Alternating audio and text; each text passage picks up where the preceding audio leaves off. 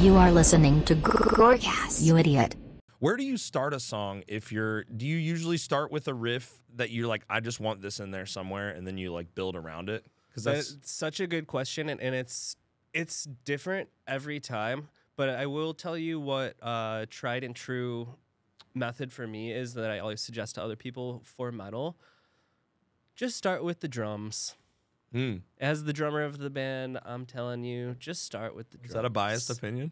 You want to go you just want to go first. Yeah, yeah, yeah. No, Why ser- is that though? From a, somebody I don't know shit about writing music. I just I just do what I, I just do it and do I think I you do, do the know- vocals. I think you do know shit about. I have a writing music, gorilla understanding of it. for sure. I have. A, sure. I'm like a football Well, coach. Like I watch tape.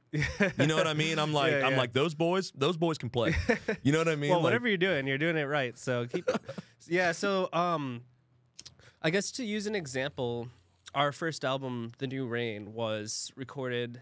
I recorded just the drums first, and that really opened up a lot of doors for creativity with what comes next.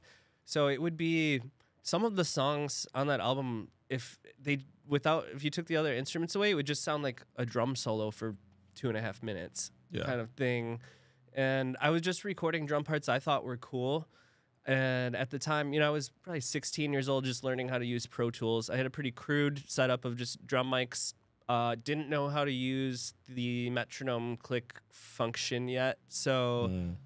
for that entire album, almost every riff was a different tempo because there was no tempos at all. So by the time I went in, you know, with Michael Keene, him being more, f- you know, fluent in like digital recording and stuff, he was like, "Well, listen, we're gonna need to put this all on um, uh, tempo map." Uh, I think he was using like Digital Performer at the time, and so we would go by riff by riff, and he'd be like, "Well, what do you think the tempo is?" He's like, "Well, I don't." I'm like, "I don't know." He's like, "Well, play it, play the part." He's like, "Okay, yeah, that sounds like 230, or or that sounds like 145, or or whatever." So m- uh, most of those songs started with drums, and then when I would hear the drum part, I would just keep doing it over and over. Have the guitar. So it usually, Mm, yeah, usually, okay, I see honestly, it now. I can see it now. Usually, You're the order- painting on top of the drums.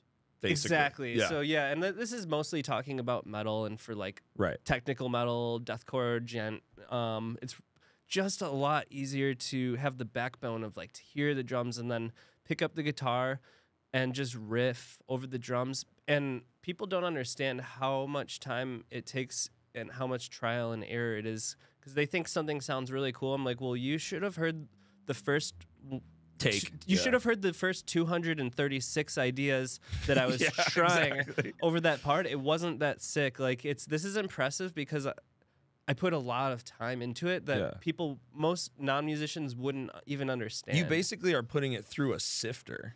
Yeah, It's like you're yeah. putting the sand through a sifter and then it gets finer and finer. Have you ever made hash before, dude? I, Have you I ever mean, I was how a it's stoner, made? but I, haven't- I you ever seen made it. They they make them with these hash bags where they put them on like a Home Depot bucket and they put like seven different bags over and each one is a different grade of like Yeah, yeah. fineness You're or whatever. sifting out- you're sifting out, like, the and, good you, and then you yeah. sit there with like a paint stir and you like push it into it into the bags and then you take the bag off and then you push the next one and you keep pushing it down and that's like That's it. That's exactly what you're doing with songwriting. Yeah, almost, yeah. right? It It's is, and- songwriting is like making hash. If there's any takeaway from this episode, dude, I want them to know that songwriting is like making hash.